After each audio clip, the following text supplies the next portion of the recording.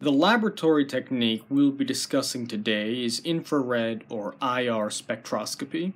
This method of analysis is used to identify the functional groups present in a molecule. The first step is to clean the zinc selenide diamond crystal, as well as the tip of the arm, with acetone.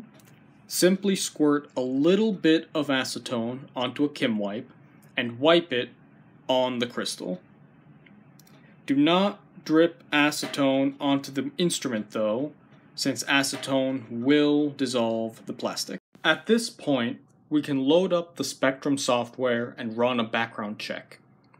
Make sure the preview box is unchecked and click background. Now we can begin to add some of our sample to the spectrometer.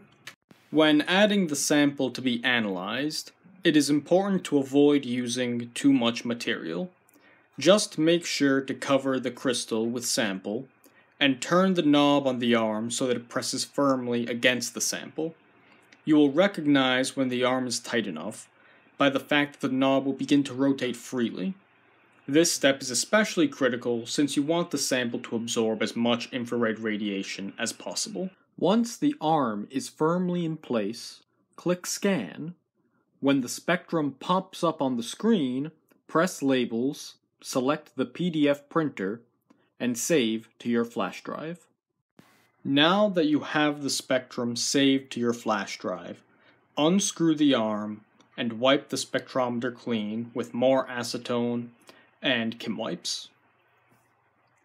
Dispose of the used Kimwipes in the small trash bin next to the instrument. To interpret the spectrum, you can find reference tables in the lab textbook and the lab manual.